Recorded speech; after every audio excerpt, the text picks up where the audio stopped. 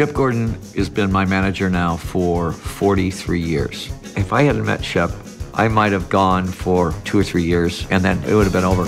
Shep has a built in ability of real compassion, but also can be a motherfucker. Shep has the charisma of Elvis, the physique of Steve Reeves, the wit of Mark Twain, and probably hung like long dong silver. If the walls could talk on Shep's house in Maui, they would never shut up.